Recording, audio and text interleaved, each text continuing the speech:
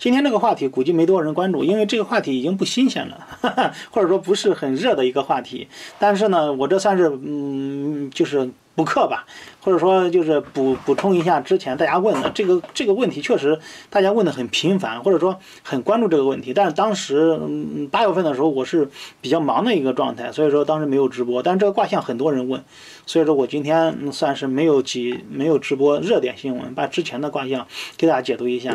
解读一下这个日本核废水这个卦象，因为这个问题大家问了很多，包括最近这两天还有人问，主要担心核废水会不会真的有影响，或者会不会影响到我们，嗯，或者说它的影响是不是真的像很多人说的那样没有多大影响，或者说非常严重，大家都很心里很忐忑。嗯，现在开始解这个卦象吧。呃，今天给大家解读这个卦象，其实就是之前大家问的，而且我看群里面很多人问过这个问题了。并且这么久了，还有很多人反复问啊，而且就都希望我来解读一下这个问题。其实这个问题关于，所以说我最近呢就在这个群里面找这个问题，而且关于这个日本排放核污水的这个问题啊，我在群里啊总共找到了四个问题，有问核污水的，有问核废水的，很明显问的都是一个一个问题啊。但是一般情况下，像同时有多人找我问卦的话，那么我的原则就是谁是第一个问的，我才会用谁的这个。时间来来来进行起卦，所以说我就选择了这个时间。大家可以看一下，这个时间就是问卦的时间是八月二十四号的十五点三十二分，我起卦的时间也是这个时间。他问的问题是：群主预测一下，日本排放核废水对我们有什么影响？我们知道这个是问日本核废水的，其实这是核污水啊。而我们得到这个卦象啊，我们可以看到啊，它是一个根据这个时间来起的，是一个横卦。代表的是恒久的意思，它下卦是为巽为风，上卦呃为震为雷啊，就是为雷震则风发，然后二者是相依相助，然后恒常不变的一个一个卦象，故为恒卦呀。这个恒卦呀，其实我们之前遇到过，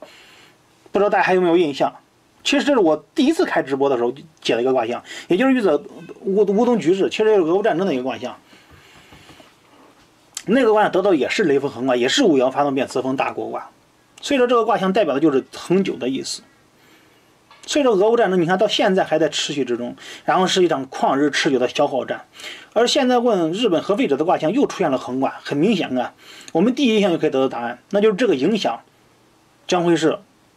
旷日持久、非常久远的，甚至难以改变或者没办法阻挡的。而且这个核废水啊，随着大海的飘荡啊，也会呃风与海或者风与雷相互的助力或者相互推动，影响越来越大或者越来越广。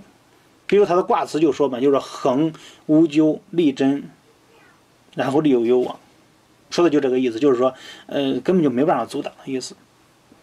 并且这个卦象啊，还位于闲卦之后，所以序卦占就说嘛：“夫妇之道，不可以不久也，故受之以恒，恒者久也。”其实这个啊，就是因为位于闲卦之后嘛，闲卦描述的是少男少女相互感应的事情，是感情的感情或者感应、心灵感应的一种感觉，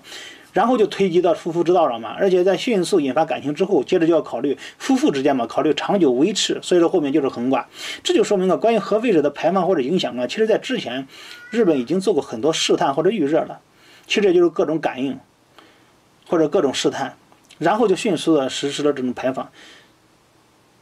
这可能也说明了日本在之前已经开始试着排放了，也为后期大量排放或者大量就是为后期这种持续化、长久的排放，可能也做了很多的影响或者铺垫。而且根据他的团词来说呀。根据团词这一句“雷锋相与”，按周易正义的说法，就是说是因为这个横卦是长阴长阴，长阳长阴嘛，就是呃。震为雷为长男长女嘛，就这个意思，能相长阴长阳，能生能相成立。这里的长阴长阳指的就是长男长女的意思，指的就是风雷激荡，或者说风雷相互作用的意思。其实就是核废水随着风雷激荡，或者说四处随着风啊、洋流什么的四处飘散的意思，而且是相互推入、相互助长各自的威力或者危害的一个意思。而且长男长女代表的也是这种影响是非常壮大的，包括这个卦辞里面、团子里面还有这个巽而动啊，周易正义里面说的是动而无为也，也就是说是震动而，也动而无为指的什么呀？就是震动而巽顺，无有违逆，所以说可恒也。这也说明这个核废水啊随风飘散，无法阻挡，我们没有办法阻挡这个飘散的。包括它下面呢刚柔接应啊，也说明了任何事物都会深受其害的。所以这样才造成这个事情啊是恒久，这个事情的影响或者这个核废的影响是恒久且不可避免的。包括还有一句就是说“天地之道，恒久而不极”，这也说明了这种影响，就从传的这句话也代表着这种影响会长久的保持下去，甚至于像天地一样长长久久，不会停止。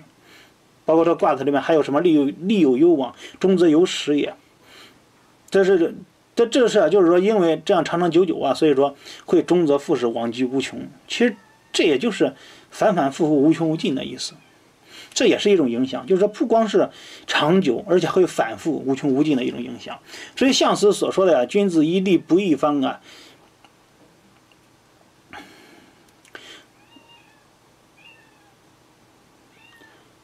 这就代表着这个，首先个横卦代表着久远嘛。他的意思嘛，就是说面对这种情况啊，君子要学习恒久的道理，然后不轻易改变自己的方向。这是横卦。卦象象辞说的一个内容，但引申到我们这个事情就代表着，可能代表着核污水的核废水的影响或者污染是长久不变的，而且我们面对核废水污染的态度或者说准备也需要长久不变，或者需要长期防范的。当然也可能代表着，就包括日本的这种排放了或者造成的影响，其实也是不会轻易改变他的立场的，也有这种情况。而且呀，从当前的情况或者当代代表当前情况的这个动摇爻辞可以看到啊，它的动摇爻辞是六五爻，它的爻辞是说恒其德，真妇人及父子凶，意思就是啊，保持道德的持久，守正道，妇人吉祥，男人凶险。其实关于这个爻辞呀，周易正义就说嘛，基于得尊位为恒之主，不能治意而系应于二，用心专真从畅而已。妇人之机，并且还说啊，这样不能够。旁击他人，而父子之兄呢？说的就是父子须志断事矣，不可专专真从畅，故曰父子兄。其实这个意思也就是说啊，就是说，代表什么意思呢？就是说这次核污水排放啊，作为站在国家角度的日本来说，如果说一心为了下面的企业利益或者为了个人自私利益而不顾其他国家利益的话，这样做法就像女人顺从男人一样，是妇人的做法，或者说是妇人之仁。而作为领导者的话，他就需要全面评估，或者说要考虑到他人、他的或者其他国家或者全世界的一个安全，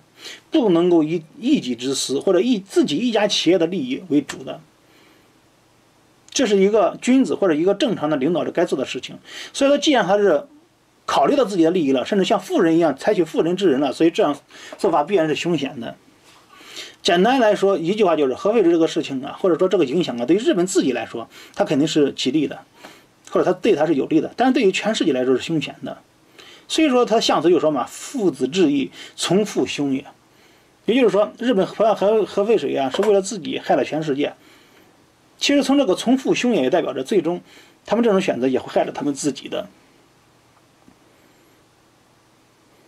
所以从这个六五爻基本上就表明了现在态度，只是为了一己之私。选择了妇人之仁，或者想像妇人一样，为了自己的小利益而损害别人了，而没有担当，可以这么说。那么事情到下一个阶段，或者未来会怎么发展呢？我们还是根据这个推爻法呀，我们可以看代表下一阶段的下一爻，第六爻，它的爻辞是说震横凶，意思就是震动长时间不停，凶险。其实这个就不用解释太多了，就它大概形容的就是核废水随着洋流或者随着海水不断震荡扩散，必定是凶险的。也就影响必定是很大的，这个我们不用过多的解释了。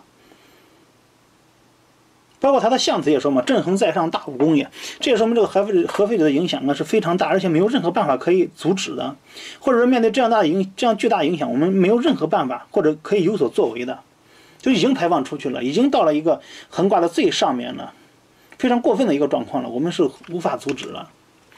而且在这个事情发展过程中啊。它一定会造成一定的决裂或者决断的，因为这个横卦的它这个互卦又是乖卦，泽天乖卦。乖卦呢是下卦为为乾为天，上卦为震为为为兑为泽嘛，就是为泽在天上之象，天上水气腾腾，欲降成雨，所以说称为乖卦，成为乖卦这个卦象。所以说乖卦就为决断的意思。其实这样啊，我不知道啊，是不是代表着呀？这些核废水有可能会被蒸发到天上，会造成全世界的污染。不知道有没有这种情况啊？或者说有没有懂的朋友可以科普科普一下？因为它的过程是一个乖卦，乖卦就是把水蒸发到天上，然后再从天上降雨的一个意思。所以大家可以了解一下或者科普一下，这个核废水会不会变成雨，或者进入大气层、进入天上而进而污染全球？而且这个泽在天上啊，必然会下降成雨，因为泽本润下嘛。这也说明啊，这次日本的核废水必然会污染全球的，并且从这个卦象是乖卦，也可以知道啊，乖卦的卦象也可以知道啊，它是一阴居上，五阳居下，这种情况就为一阴凌驾于五阳之上，这就代表着一个日本污染了全世界的意思，或者说一个人的小人行为，然后让全世界或者全世界的君子，全世界的积极正常的人跟着受牵连，然后蒙受为难。就是一阴凌驾于五人五五五阳之上，也代表一个小人凌驾于众多君子之上。再加上这个乖卦还位于易卦之后啊，根据序卦这样的说法，就是说易而不己必绝，故受之以乖。意思就是这个影响还是不还是会不断积累的，然后才会决裂或者崩溃的。这也看得出来啊，就是说可能现在啊，并没有很多人，并不是全世界反对，或者我们反对，但是全世界很多包括西方国家不怎么反对。甚至于我们可能是因为啊，他们还没感受到污水、核污水的这种影响呢。但是随着日本不断的倾倒核污水，这个影响必然会越来越大，而且必然会影响全世界，然后让全世界人民买单的。这个时候啊，就会到了一个必然要决断或者决裂的一个时候了。那么到底会怎么决裂呢？或者这个？影响会产生什么样的反应呢？很明显啊，这个这个乖卦的卦辞呀，说的就是这样一个一个结果。乖卦的卦辞就说嘛：“乖，阳与王庭，符号有力，告自亦不利，既容，利有攸往。”这个我先解释一下这个意思吧。其实这个解释意思并不一定符合呀。他的意思就是说，在朝堂上发表言论，然后当面宣扬小人的罪过，竭诚的大声呼唤，告诫人们危险依然存在。其实也差不多，告诫人们危险依然存在，要从丰邑前来告知，不利于。动用武力，如此有利于日后有所行动。很明显，这里是就说的就是，就是说关于核废的影响啊，未来一定会是，会会成为一个在公共场合公开讨论的一个事情，或者会会公开讨论并被声讨的一个事情。然后呢，会有人大声疾呼这次核废水的影响或者危险。虽然可能不会动用武力或者不会强力的采取什么措施，但是一定会有一些决定，比如，比如说呃一些命令或者一些共识之类的会到达日本的。或者是会有统一的一个决定下达到日本的，并且从它的团词呀，这个符号有力，其为乃光也，也可以看得出来啊，可能到时候这种危险会成为共识的，并且这种不顾别人的这种倾倒行为也就岌岌可危了。可能大家呀不虽然不会采取强硬手段，但是一定会有所行动的。所以这种积极的态度啊，会令有可能会令这次冲到核废水的这种危险的行为啊，会终结的。在这个过程中呢，而且从这个象辞“则上于天，乖君子以石炉积下，居德则济”啊，也可以看得出来啊。像日本这样只想着自己的利益，不顾全世界的这种做法呀，首先是会被是会被大家禁止或者唾弃的，而且可能到时候还需要做出一些补偿的，因为君子需要石炉积下的，或者说他做这样这种情况，他是必须要做出一些赔偿的，应该做出一些赔偿的。如果不做的话，肯定会被大家唾弃的。所以说有可能会做出一些赔偿，或者说一些一些补偿、一些赔款，有这种可能，或者做出一些补救措施，有这种可能。因为相册里面提到这个石炉积下了。那么这次日本核废水它最终造成的影响会是怎样的？也就是说，这个核废水影响最终会有多大呢？这个时候我们就可以来看这个卦象中代表结果的这个变卦，它的变卦是泽风大过卦。大过卦呀，我们其实解解读乌东战争的时候也说过呀，大过卦就象征大的过度。它下卦是为巽为木，上卦为兑为泽呀，为水在木上之象啊，其实也就是大水淹没了树木的意思。所以说就是很过甚的一个行为。所以大过卦就是大为过甚的意思。这里的过其实就是越，含有过失的意思呀。所以说这里的大过其实就是大大的过失，或者说极大的一个过越或者过失的意思。比如在《周易正义》里面专门对这个。这这个大过卦提了嘛？说这个过为过越之过，并非经过之过。过越其实就是非常的过分。既然呢这次核废水影响这么广大或者这么过分呢，结果这么可怕，为什么我们现在还感受不到呢？其实就因为啊这个大过卦，它是位于这个乙卦之后。西卦战争就说呀，不养则不可动，故受之以大过。所以这就代表着啊这个事情呢，肯定是需要一段时间的颐养或者一段时间积累甚至酝酿之后。才会达到一个非常过度的形过度的一个一个一个情况，等于我们现在可能还感受不到，但是随着日本核废水越排越多，或者越来越扩散，它的影响将会是越来越大，或者非常过度、非常巨大的一个情况。那么到底会大到一个什么程度呢？大过的卦辞就说呀：“大过动脑，利有攸往。”亨，意思就是房屋的动量受到重压而弯曲，利于前去行驶亨通。这就代表着这次核废核废水的排放啊，将会给全世界带来不可承受之重，就像房屋的动量被压弯了一样。而且根据这个卦象的解释呀。为什么大过卦代表的是动量被压弯呢？主要是因为啊，大过的卦象是中间四个阳爻，两边是两个阴爻，两头太弱了，中间太过了，所以说才会被压弯。这也说明啊，面对这面对这次核废水啊，我们可能是无能为力的，或者说我们我们的可控制的能力可能是极其微弱的，因为两边的阳爻你很难控制中间的这种特别过分的阳爻，两头的阴爻你很难控制住中间这边特别过分的四个阳爻的。这个我解读俄乌战争的时候就说过，大过卦中间我们可以理解为河或者一个边界，两边可以上下两个阴爻可以理解为河岸上的人了或者一些事物了，在这里可以理解为啊大海两岸的人，也就代表着啊中间是非常过分或者非常，嗯，因为四个阳爻嘛非常过分的一些东西，但是两岸的动物两岸的事物呢却是非常柔弱的，这就代表着未来影响最大的将会是海边或者说海岸线附近或者沿海的一些城市或者国家，所受的影响是最大的。当然，很多人可能还会问了，就是说，为什么这里面卦辞里面还说利有攸往亨呢？其实这里的利有攸往啊，按照周易正义的说法呀，利有攸往亨者，既遭衰难，圣人利有攸往，以整患难，乃得亨通，故云利有攸往亨也。还说就是说，此衰难之事啊，为阳爻，乃大能过越常理以整患难也，故曰大过。这也说明了，所谓的利有攸往啊，是亨指的是啊。到时候会有非常有能力的或者非常有影响力的人或者国家去出手拯救这个患难，所以说也代表着必须有人出来管理或者制止日本的这种危险或者危害全世界的这种行为。但是啊，在这个核废水排向大海危险全世界时候啊，对于我们普通人或者说该怎么做呢？或者面对这个影响，我们该怎么办呢？其实这个象辞也就说了，象辞就说的就是君子以独立不惧，顿时无闷。意就是从意思就是君子从卦象中得到启示啊，独立而不惧怕，然后顿时隐身顿世也不也不烦闷。这也说明对于我们普通人来说，可能面对这个核废水的影响我们只能远远的躲起来，或者敬而远之这些污染的东西，或者污染的一些水产品之类的，这样才是最好的选择。我们别的做不了什么，只能躲起来。所以说，综合这个卦象啊，综合这个卦象解读，其实。整体上来说，就是，关于这次核废水的排放啊，它的影响是非常久远的，甚至啊，可以说是与天地同在的，并且随着震荡越来越远呢，越来越广的一个情况呢，而且日本还会，日本的这种行为还会是源源不断的，甚至反复进行的。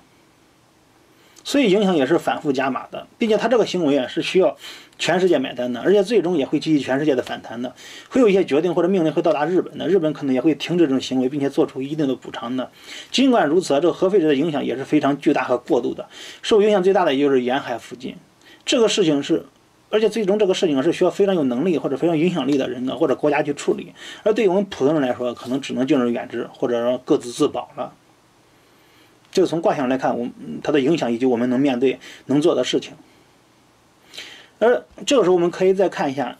以上就是卦象部分解读啊。解读完之后，我们可以再用六爻方面来对照一下。因为我我解卦一般都是卦象跟六爻相结合，而且只要你对一个卦象把握精准的话，一般卦象跟六爻的嗯内容是不会有冲突的，或者甚至有各双方是有相互补充的。所以说，我们现在就可以从六爻方面来看一下呀。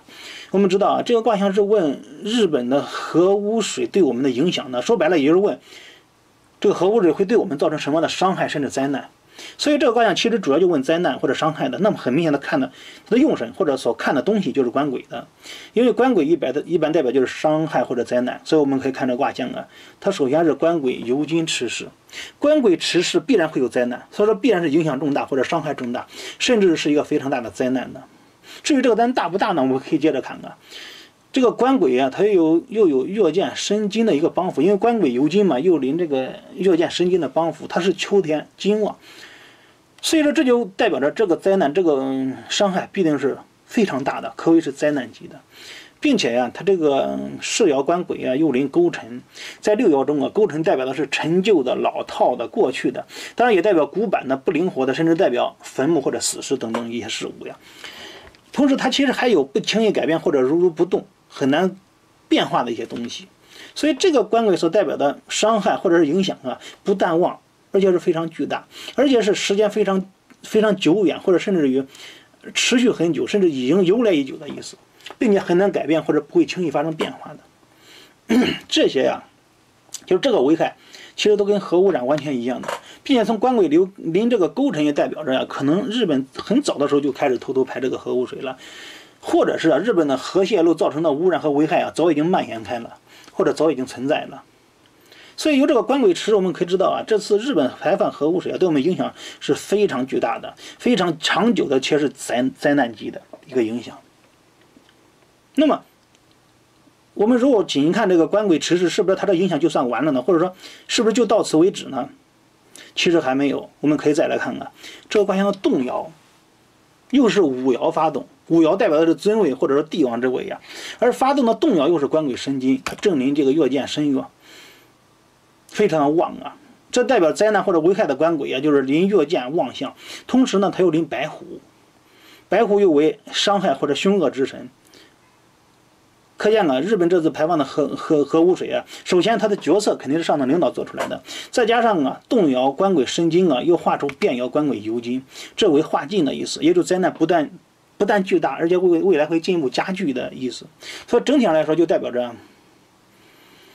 呃，这个事情不但是灾难巨大，而且是进一步加码，而且是他们领导做出的一个一个一个角色。而且这个污染会伤害全世界，或者说会造成很大的血光之灾或者伤残之类的事情发生的。可见呢，对于日本来说呀。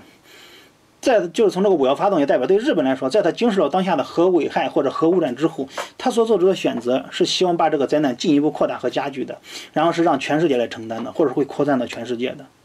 或者这个危危害本来是可控的，或者本来是已经对他造成很大危害了，但他推及到全世界，或者说又把它更推进了一步。包括我们可以看到这个变卦的泽风大卦，其实还是游魂卦，游魂卦代表到处游走的一种感觉，你可以这么理解。那也代表着这个东西是扩散开来、不可不可违逆的，而且从这个卦象中啊，它的势爻、动爻、变爻，甚至月见都是官鬼，这也代表着啊，